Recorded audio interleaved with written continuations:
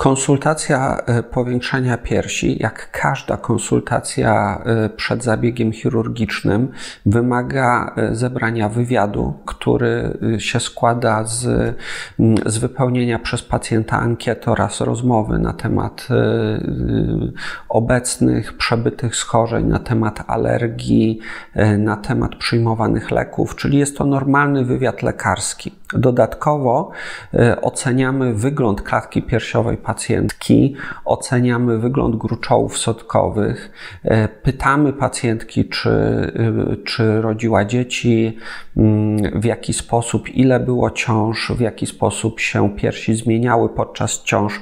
Oceniamy wygląd gruczołów, gruczołów piersiowych i e, staramy się w ten sposób ocenić wstępnie, e, jakiej procedury, jakiego rodzaju zabiegu będzie pacjentka wymagać, jak również bardzo dokładnie mierzymy pacjentkę, czyli wykonujemy pomiary, które pozwolą nam na dobranie jak najlepszego implantu dla, dla tej, tej pacjentki.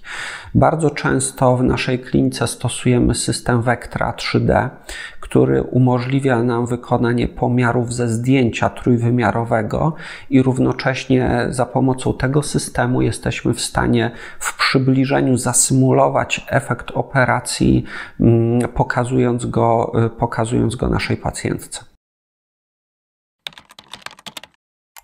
Podstawową listą badań są takie badania, które są wykonywane zawsze do zabiegów w znieczuleniu ogólnym czyli morfologia krwi, e, badanie krzepnięcia, badanie elektrolitów, e, badanie wydolności nerek, czyli parametry takie jak mocznik, kreatynina, e, poziom cukru. To są takie podstawowe, podstawowe badania, które, które wykonujemy każdemu pacjentowi przed planowym zabiegiem operacyjnym.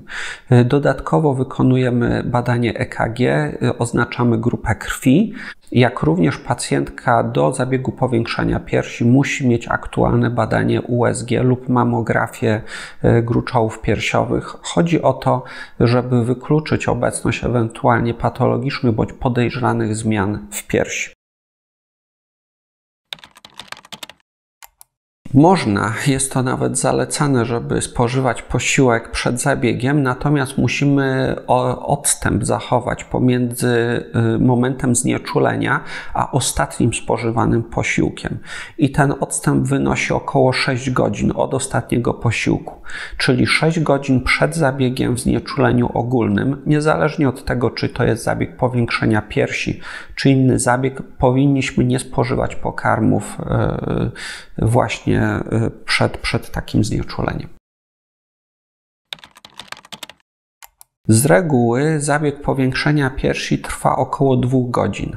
Czasami może to być czas krótszy, a czasami, jeżeli zabieg wymaga mm, dodatkowych, dodatkowych czynności, są na przykład procedury trudniejsze niż standardowe, które wymagają troszeczkę więcej preparowania, troszeczkę większej operacji. Wtedy taki zabieg może trwać nawet do 3 godzin, ale z reguły jest to czas do 2, do 2 godzin. W naszej klinice u większości pacjentek, w zasadzie u wszystkich pacjentek, tego typu e, zabieg przeprowadza się w pełnym znieczuleniu ogólnym. Były takie y, pomysły i, i, i prace, które mówiły o możliwości y, znieczulenia częściowo miejscowego z sedacją do takiego zabiegu.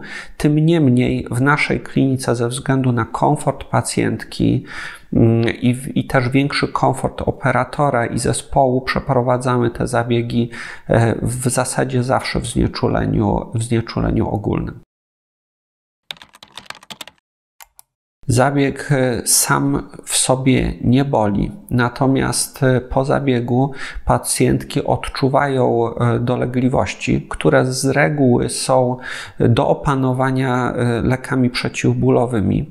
Szczególnie trudny dla niektórych pacjentek może być okres pierwszych 4-5 dni po zabiegu, szczególnie w przypadku, kiedy wszczepiamy implanty pod mięśnie piersiowe, co wiąże się zawsze z nieco większymi dolegliwościami. Więc ten pierwszy tydzień po zabiegu może być, może być bardziej odczuwalny bólowo dla pacjentek, natomiast z reguły udaje się to opanować lekami przeciwbólowymi.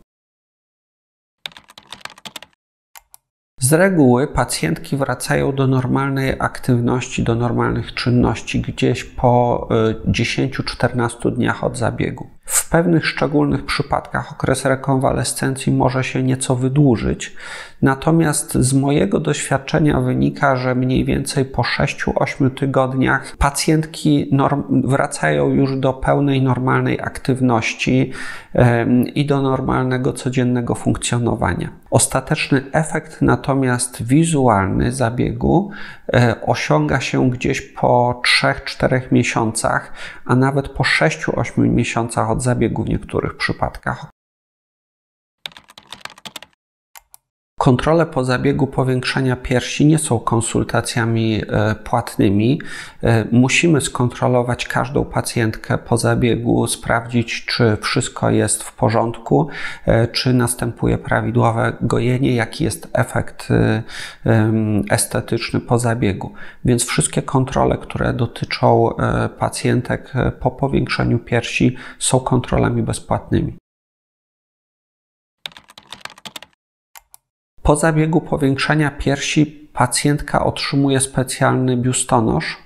E, jest to biustonosz sportowy bez fiszbin, najczęściej zapinany z przodu i z tyłu, i w tym biustonoszu pacjentka musi e, e, funkcjonować, również spać przez okres pierwszych kilku tygodni po zabiegu.